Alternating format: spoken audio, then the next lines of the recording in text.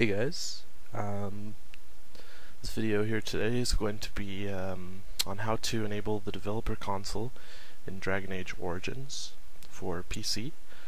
Uh, and the reason for this is going to be so we can access the quest content for uh, the quest Jowan's Intention, which is a bugged quest in Dragon Age Origins, and normally you are not allowed to do it because the encounter never shows up.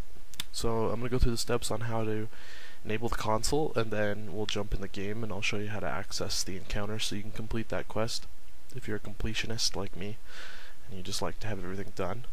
Um, first off, the uh, beginning part of the video here is going to be addressing the Steam install.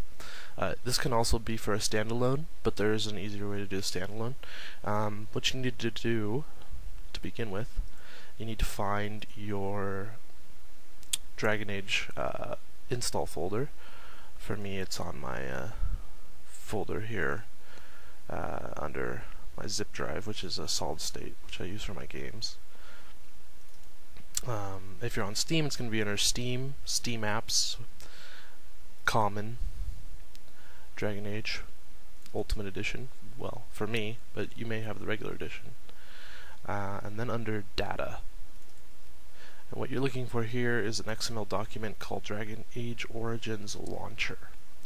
And what we're going to do is we're going to edit one line of code in the launcher and um, change it to enable developer console. So what you do is right click and we're going to edit. Uh, you can see here it's kind of confusing. Um, seem to be pretty difficult to find what you're looking for. So what you need to do is you need to uh, locate the original line of code. I already have it open here, and I'll post the original line that you're looking to alter in my video description. Copy that, and then we're going to Control F, and we're going to try to find uh, the text in the Finder here. So I pasted the original line, find, alright there it is, close. And then we're going to pull up the altered line, which is this one here. And we're going to paste where that one was originally, and we're going to file save.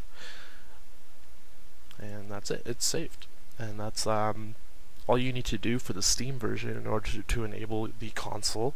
and if you have uh, a regular copy, like a standalone, not on Steam, you can go to your Dragon Age folder, like normal, like I did here, and then under bin ship folder, you have DA Origins, uh, which is the executable for the game itself, and you can uh, right click, create shortcut, or you can do what I do, which is just right click drag, and that allows you to make a quick shortcut there.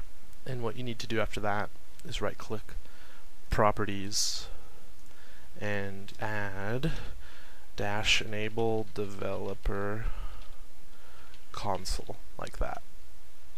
And apply OK so that is if you do not have Steam. You can launch the game this way and it'll enable the console. It's a little easier.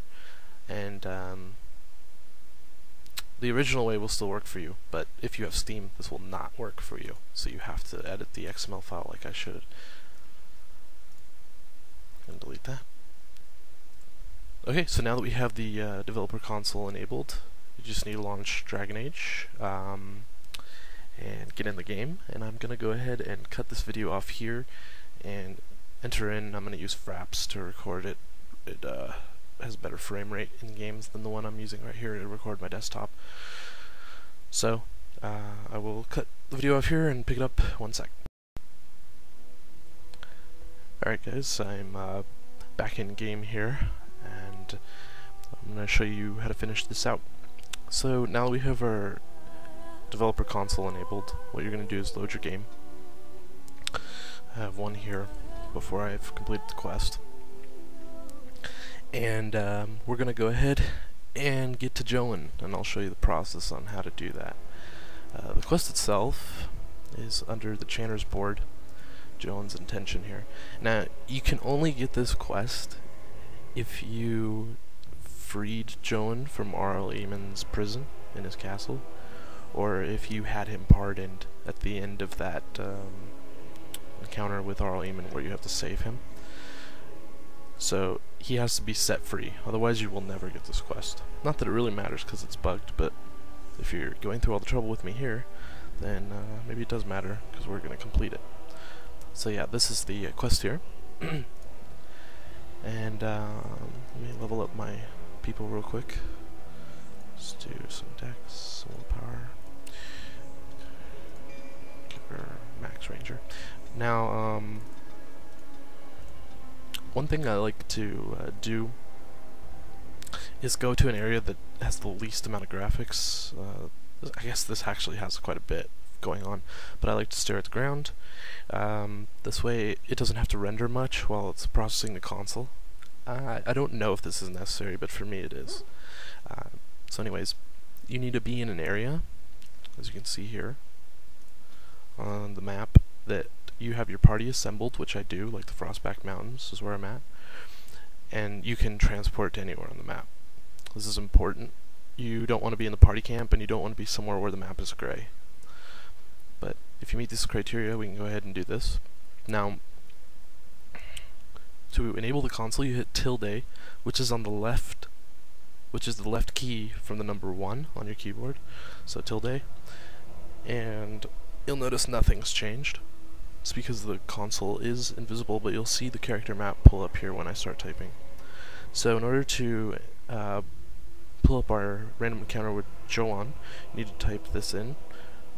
Run script, one word, R-U-N-S-C-R-I-P-T space Z-Z underscore ran, R-A-N underscore debug, D-E-B-U-G, enter. Okay, so here it's prompted us with the menu. and uh, once the character map dissolves away, it says which random encounter type do you want to run. Uh, you can mess around with these if you'd like, but for Jowan in particular, we want Forest. And we want Jowan. And once we hit number 4, we're going to go ahead and instantly transport to the uh, encounter. So here we go, Jowan. I'm going to load in here and begin the quest pretty much immediately. Let's go ahead and get these guys going. Your direction? As you can see here, uh, the is quickly turning kind of messy. Uh, Blight Wolves attack. Here's uh, key to this encounter is that you need to have Jowan survive. So make sure that dying. There's a uh, Bereskarn. And we're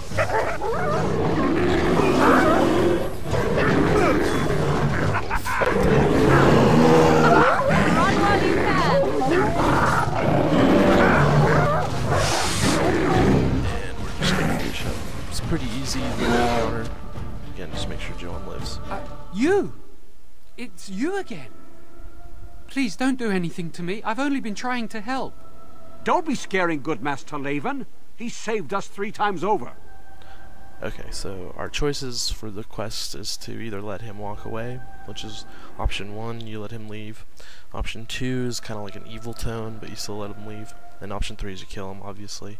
All three complete the quest, but for me, I'm gonna let Jowan live because he's he seems like a pretty nice guy. He just is kind of careless, I guess, and uh, gets into a lot of trouble. But his mind and heart's in the right place. so let him. Thank let you, him go. Warden. I will, I swear to you. Everyone, let's move. The Warden has more important matters to attend to. Warden? Uh, that kind of sounded creepy when that lady said warden. Warden. Okay. Yeah, another cool thing about Jowan is he is a main character in the uh, mage origin story, which you will not know unless you were to do it.